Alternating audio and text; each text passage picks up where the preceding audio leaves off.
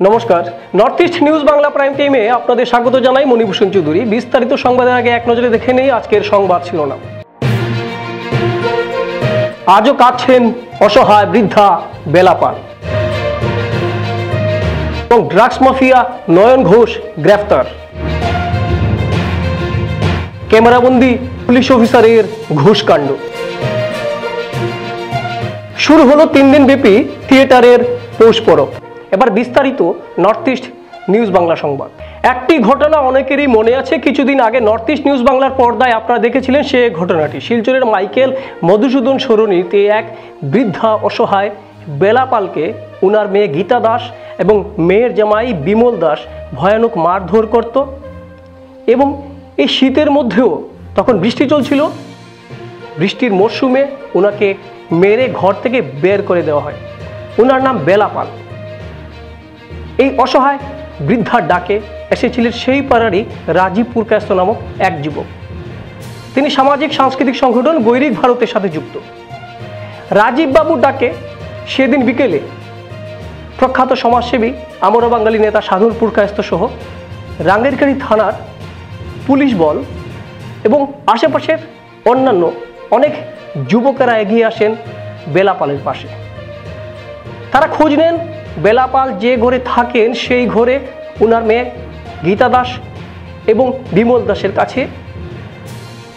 তখন পুলিশেরই সামনে এবং পাড়াপড়শির সামনে ওনার মেয়ে জামাই বিমল দাস ওনাকে প্রকাশ্যে হুমকি দেয়, দেখে নেওয়ার। তা আপনারা নর্থ ইস্ট নিউজ বাংলার পর্দায় দেখেছেন।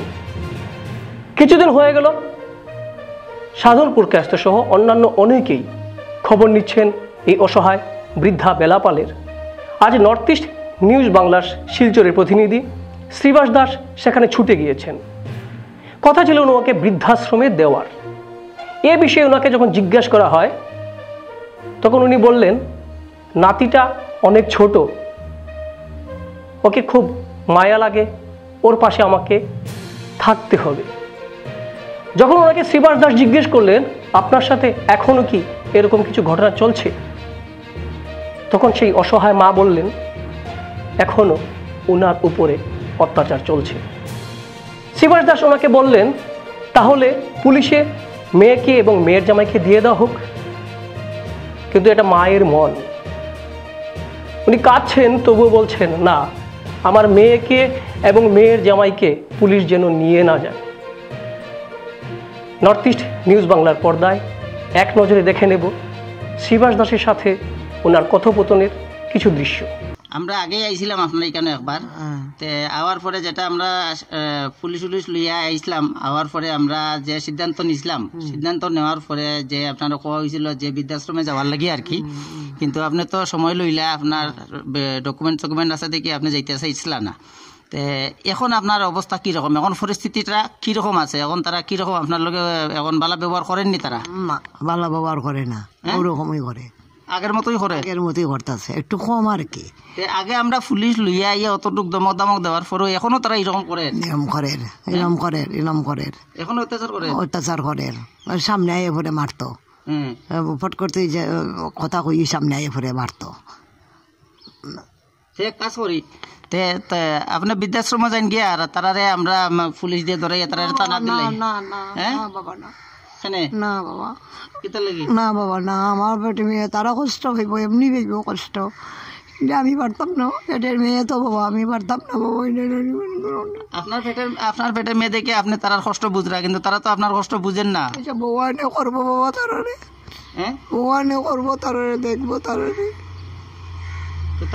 তারা দিতাম না? আমরা তো প্ল্যান করছিলাম যে আপনারা বৃদ্ধাশ্রম দিয়ে তারারে টানা দিলেই তাম পুলিশ তারা জ্ঞান করিও না বাবা? হ্যাঁ? জ্ঞান করিও না বাবা। দিতাম না? না বাবা। না তার বাচ্চাটা আছে। তার বাচ্চা আছে তো ঠিক আছে কিন্তু আপনার তো কষ্ট দেয়। আছে বাবা। আমারে সরাইলাও আপনারা সরাই দিতাম এখান থেকে? বাবা আমারে সরাইলাও আমারে সরাইলাও বাবা। আমি তারা টানা দিতাম না? আমরা তো পুলিশ লিয়ে আবার কেস দিলে তো তারা ইয়ে ধরিয়া লইয়া যাইব কি? পুলিশে লইয়া যাইব কি তারা? বাবা দিও না এগুলি দিও না বাবা। হ্যাঁ? দিও না। দিতাম না? না বাবা।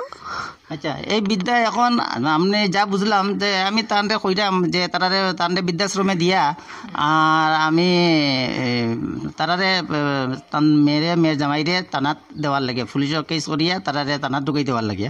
কিন্তু বিদ্যা মানতে রাজি না যেহেতু তান পেটের পেটের সন্তান এর লাগে তার তারারও একটা বাচ্চা আছে তারারে না দেওয়ার লাগে এখানে তাই বারে বার আর্জি জানাইরা যে তান মেরে বা মেয়ের জামাইরে পুলিশে না দেওয়ার জন্য। কিন্তু তাইন করে তারারও একটা বাচ্চা আছে হ্যাঁ এর লাগে তান কষ্ট লাগে, তান পেটের সন্তান দিকে তান কষ্ট লাগে, তান কষ্ট সহ্য করতে তাই রাজি আছেন তাই বর্তমানে তাই এই কথাই কই- কইতে চাইরা যে আমারে লাগে এখান থেকে সরাইলাও, কিন্তু তারারে তানাত দিও না। তারা যেরকম আছে তারা এইরকম তাহক আমি লাগে এখান থেকে যাই মুগিয়া তবুও তারা সুখে তাহক কিন্তু তারারে তানাত দিও না। তানাত দিতে কোনো মতেও তাই রাজি না। দেই নয়ন ঘোষ নামটি অনেকেই শুনেছেন। কুখ্যাত সুপারি এবং ড্রাগস মাফিয়া। কাছাড় পুলিশ শুক্রবার গুয়াহাটি থেকে নয়ন ঘোষে গ্রেফতার করেছে। তারপর তাকে মেডিকেল করিয়ে আদালতে প্রেরণ করার পর ধলাই থানায় নিয়ে যাওয়া হয়। কেস নাম্বার হচ্ছে two seventy one oblique twenty one US one twenty B four twenty oblique three seventy nine four double one IPC এ নিয়ে তোলপাড় সমাজে এবং পুলিশের সাফল্যে জনগণ অত্যন্ত উৎফুল্লিত। हमारे पास खबर थी कि नयन घोष जो कि हमारे एक केस में वांटेड है अ, अभी गुवाहाटी में है based on that in cooperation and collaboration with the Guwahati city police we nabbed him तो उसको पल्टन बाज़ार में रखा उसके बाद अ, हमारा यहाँ से एक टीम जाके उसको लेकर आया he is one of the accused in supari cases of धुलाई নয়ন ঘোষে গ্রেফতার করা নিয়ে অত্যন্ত সাফল্যের খতিয়ান পুলিশ দেখালেও পাতারকান্দিতে এক ঘটনায় অনেকেরই মাথা হ্যাট হয়ে গেছে পুলিশ বিভাগের। মুখ্যমন্ত্রীর কঠোর নির্দেশকে উপেক্ষা করে পুলিশের ঘুষ নেওয়া অব্যাহত। সেই দৃশ্য ক্যামেরাবন্দি করলেন এক ভুক্তভোগী মানুষ। পাতারকান্দি থানার সাব ইন্সপেক্টর জিতেন্দ্র সিং দীর্ঘদিন থেকে সেই ভুক্তভোগীকে বলছেন, আমাকে পাঁচ হাজার টাকা দিতে হবে, নতুবা তোমার ফাইল নিয়ে কোনো নড়াচড়া করা হবে না। একসময় অসন্তুষ্ট হয়ে সেই ব্যক্তি ক্যামেরাবন্দি করলেন সেই দৃশ্য। সব পুলিশ সমান না। বাস্তব দৃশ্য কি? আসুন দেখে নেই। এক ঝলকে নর্থ ইস্ট নিউজ বাংলার পর্দায়।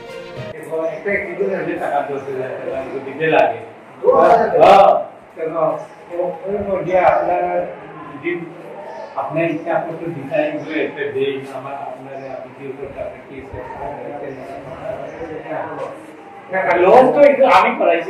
কি কি লোন তো আমি করাইছি লোন তো আমি করাইছি না অ্যাক্সিডেন্ট বাজার কি হয়ে গেছে না না জোর না না।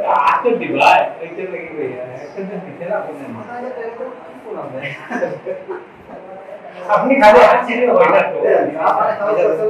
চা পানি খাওয়া লাগে আমার দিতে না চা পানি খাওয়া লাগে আমার দিতে না না এখন আপনার, আমি যদি তোমার যদি করে দেই না তোমরা ইয়ে কিছু গাড়ি আমি জিডি নাম্বার করতে যদি দেই না তুমি ক্লেম করতে পারতে পুলিশে একটা কাগজ লাগবো লাগবো কিনা তো এইগুলো করিয়ে দিছে না আপনারা করিয়ে দিছে আমি কইছি নি তোমরা গাড়ি অ্যাক্সিডেন্ট করো তারপরে কইছি নি তো এইগুলা চার্জ আপনি করিও না আমার না, জিনিসটা তোমার ক্লিয়ার করলাম অ্যাক্সিডেন্ট হলে ওরকম দিতে আপনার মনটাকে কত দিতাই দিও একটা দিতা দিয়া চা পানি খাওয়া লাগে যে হ্যাঁ, না না এটা তো হয় না চা পানি খাবে না এগুলো না একটু তোমার কইলাম আর কি এই ভিতরে তোমার কি বিবেক কিতাব হয় ওইটা দিয়ে দিয়েছে।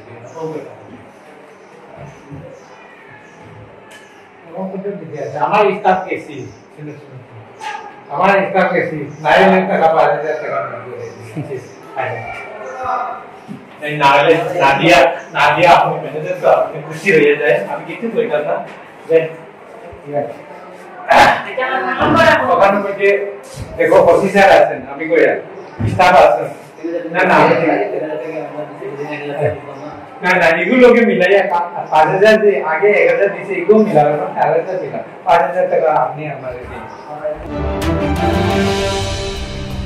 এখন নিচ্ছি এক বিজ্ঞাপনী বিরতি।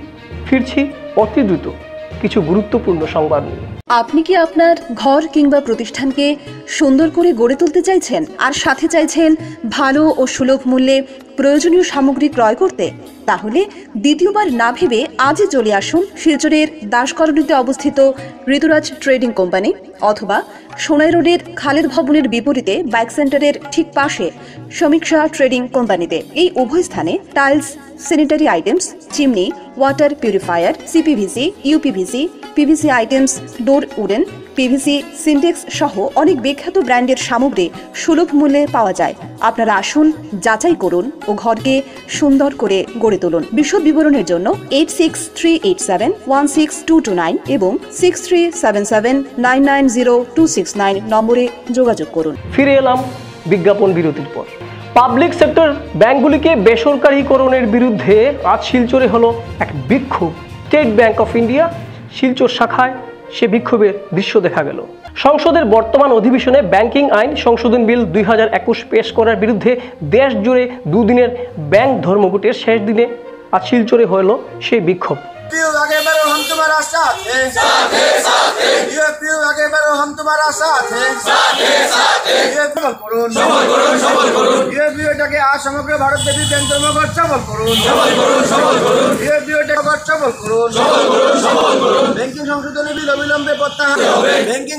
বিল প্রত্যাহার করতে হবে।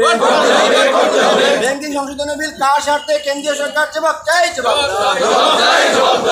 ব্যাংক কর্মীরা বলেন যে দুইটি ব্যাংক বেসরকারীকরণের প্রক্রিয়া চলছে।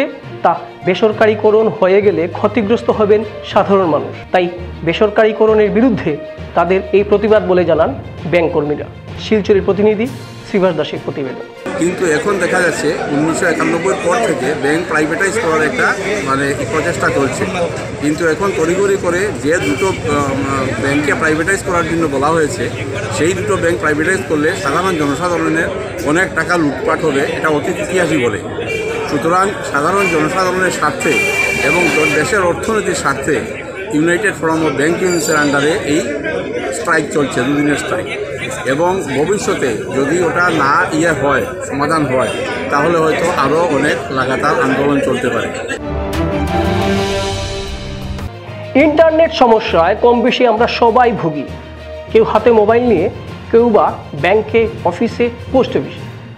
শিলচরের তারাপুরের সপ্তম খণ্ডে পোস্ট অফিস বন্ধ নিয়ে বেশ কিছুদিন ধরে চর্চা চলছে। আজ এ নিয়ে উক্ত এলাকার সাতশো এর অধিক জনগণ তাদের স্বাক্ষরিত স্মারকপত্র নিয়ে সিনিয়র ব্যাংক সুপারিনটেন্ডেন্ট এবং পরিবর্তিতে অতিরিক্ত জেলা শাসক রাজীব রায়ের কাছে স্মারকপত্র তুলে দেন। যদিও পোস্ট অফিস আধিকারিক বলছেন, তাদের লাভ হচ্ছে না বলে উক্ত অঞ্চলে পোস্ট অফিস বন্ধ করে দেওয়া হবে। কিন্তু জনগণ তা মানছেন না, কারণ পোস্ট অফিস বন্ধ হলে অসহায় মহিলা এবং বৃদ্ধ মানুষদের অনেক কষ্ট হয়। আজকে স্মারকপত্র প্রদানকালে অন্যান্যদের মধ্যে উপস্থিত ছিলেন আশিস চৌধুরী, জগজ্যোতি নাথ, প্রমোদ সিনহা, অনিল সেনাপতি, বিশ্বজিৎ সমাজপতি, দেবদুলাল মারাকার প্রদুম্ন পাল বাগেন সিংহ, জয়চন্দ্র সিংহ, প্রজ্জ্বল দেবসহ অন্যান্যরা। গ্রাহক সুরক্ষা সমিতির বিপ্লব গোস্বামীও তাদের পাশে ছিলেন। তারাপুর সপ্তম খণ্ড পোস্ট অফিস বাঁচাও কমিটির পক্ষ থেকে আজকে এসেছিলাম সিনিয়র সুপারিনটেন্ডেন্ট মহোদয়ের কাছে। আমাদের অভাব, অভিযোগ, দুঃখ, ব্যথা, বেদনা জানাতে, বিশেষ করে তারাপুর সপ্তমখণ্ড পোস্ট অফিস, যেটা পঁচিশ ত্রিশ বছর ধরে চলছিল, হঠাৎ বিনা নোটিশে তাকে বন্ধ করে দেওয়া এবং অজুহাত ছিল ইন্টারনেট সমস্যার প্রবলেম কিন্তু আজকে যখন সিনিয়র সুপারিনটেন্ডেন্ট মহোদয়ের সঙ্গে আমরা কথা বলেছি, জানতে পারলাম যে সেটা মূল কথা নয়। বলে মূল কথা হচ্ছে যে লাভ ক্ষতির হিসাব আমরা তাকে বলেছি যে লাভ ক্ষতির হিসাবে পোস্ট অফার, পোস্ট অফিসের যে পরিষেবা, সেটা শুরু হয়নি এবং সেভাবে চলা উচিত না। এত অঞ্চলের বয়োজ্যেষ্ঠ মানুষ, মহিলা সহ সকল অংশের মানুষের সুস্থ পরিষেবা পৌঁছে দেওয়ার জন্য এই পোস্ট অফিস থাকা এবং দীর্ঘদিন ধরে থাকাটা অত্যন্ত কাম্য। আমরা আমাদের আর্জি জানিয়েছি, তিনি যথোপযুক্ত সাহায্য করার পরামর্শ দিয়েছেন, আশ্বাস দিয়েছেন। কিন্তু তার মধ্যে আমরা একটা দুর্বলতা লক্ষ্য করলাম একটা দুর্বল সুর তার পক্ষে এক কিছুটা অক্ষমতাও প্রকাশ করলেন। সাহায্যের সহযোগিতা যেভাবে হাত বাড়িয়ে দেবেন বলে বললেন আবার দুর্বল সুর ফুটে উঠল।